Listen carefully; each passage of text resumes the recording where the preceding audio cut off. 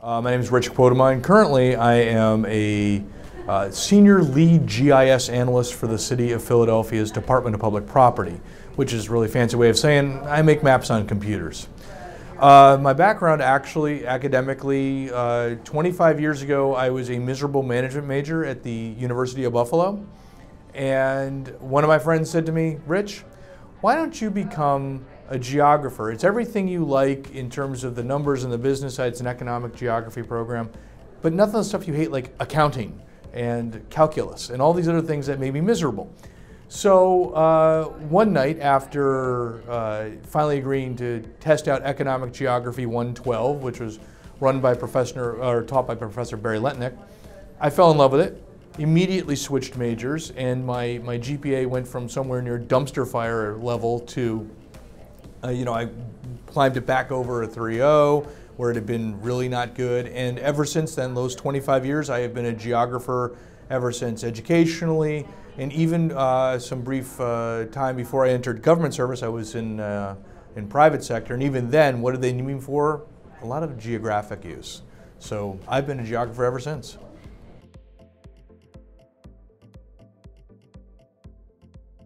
The city hired me two years ago specifically to uh, bring to fruition a couple of projects that are GIS and geographically intensive.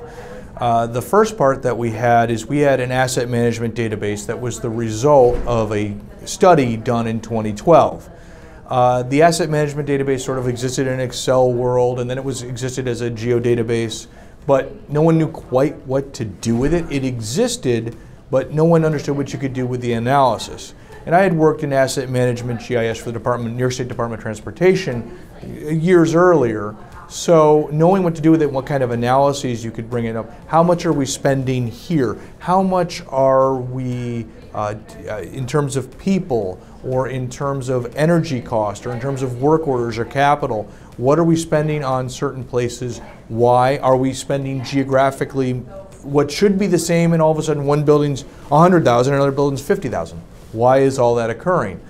They, they had a couple of uh, applications that they custom developed that tracked those changes, but no one knew what to do with, all right, we have this data, now what do we do with it? And they passed it from person to person and no one really could. Uh, so I was hired to make sense of that data and turn this large chunk of how much money are we spending on this into, oh, let's make this an informed environment. So now I, I am responsible for the application management of those, but also the downstream use of the results. So I serve on climate smart committees and 5G rollout and looking at uh, legal, for example, legal settlements that the city has had to make because of infrastructural uh, issues, trip and fall, but also moving vehicle accidents with city uh, with city vehicles, all of those are geographic analyses that I am now responsible for both maintaining the asset structure and then providing analysis to other uh, units within the city.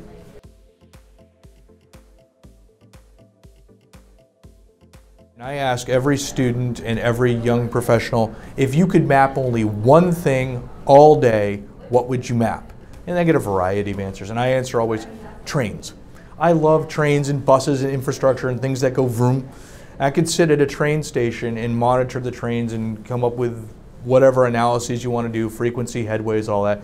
So I love asset infrastructure and analysis, and I started doing this originally for the Department of Labor 15 years ago, New York State Department of Labor, in their transportation, warehousing, utilities occupations that are served by those industries and that grew into a, I got promoted to a role as a transportation analyst in public transit for the New York State Department of Transportation. And I got to map where buses go and trains go and all that, which is just exciting to me. And maybe no one else finds exciting, but I do. So, and then fast forward the last couple years when we needed to do asset management, how do we spend on our transportation assets? How do we, how does the city spend money on everything when you look at Philadelphia? Trains, planes, uh, shipping, all of that in a very concentrated area. Philadelphia is only 154 square miles. But when you think about all of the goods and the people and the trains and buses and planes that all are in the city line, it's a really massive transportation interchange. And that is thrilling. I like to do that.